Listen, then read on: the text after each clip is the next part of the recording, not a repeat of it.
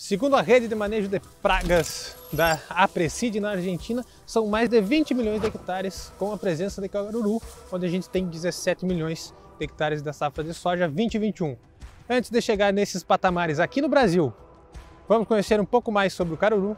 Fica ligado, está começando mais um episódio do Missão Caruru.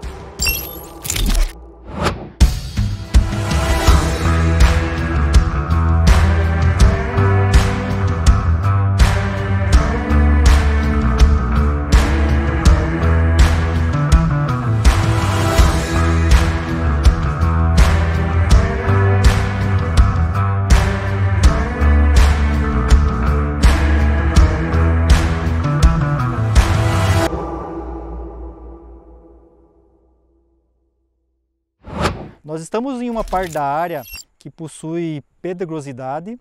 Nessa parte da área, o acúmulo de água ele é menor, né? o desenvolvimento radicular da soja também é menor.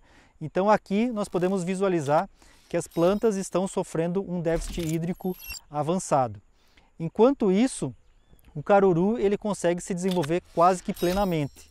Uma vez que o caruru possui um ciclo fotossintético diferente da soja, aonde ele é mais eficiente, inclusive no uso da água, faz com que num cenário principalmente de deficiência de água, o caruru cons consiga ainda se desenvolver mais que a cultura, né, ser mais eficiente, tomar mais espaço, reduzir ainda mais a produtividade e ainda deixar descendentes numa quantidade muito grande que vai ser um problema na próxima safra.